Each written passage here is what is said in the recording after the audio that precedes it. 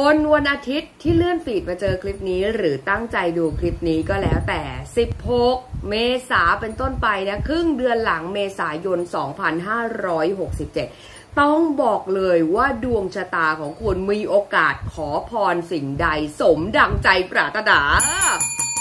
ดูเหมือนกับว่าช่วงนี้เซนแรงนะคะ หรือเป็นไปได้เหลือเกินว่าสิ่งที่คุณทำมานะ บุญกุศลที่คุณสร้างมามันถูกทิศถูกทางถูกที่แล้ว นะหรืออะไรที่คุณทำอยู่ต้องบอกเลยมันถูกที่ถูกทางแล้ว มีโอกาสเหลือเกินขอพรสิ่งใดจะสมดังใจปรารถนาการงานอาจจะได้เลื่อนขั้นเลื่อนตำแหน่งนะได้อยู่ในจุดที่ถูกทิศถูกที่ถูกทางนะเออส่วนในเรื่องของธุรกิจก็ต้องบอกเลยมีโอกาสเจริญรุ่งเรืองก้าวหน้านะเออนะแล้วก็มีโอกาสเหลือเกินในเรื่องของโชคลาภนะอาจจะได้โชคได้ลาภเพราะเซนส์สัมผัสพิเศษอะไรบางสิ่งบางอย่างของคุณนั่นแหละ หรือ สิ่งที่คุณขอพรไว้จะสมดังใจปรารถนานั่นเองนะ ส่วนในเรื่องของความรักถ้าเกิดว่าคุณขอพรไว้นะ ให้เจอความรักที่ดี ให้เจอคนดีๆ อะไรต่างๆ มีโอกาสว่าจะสมหวัง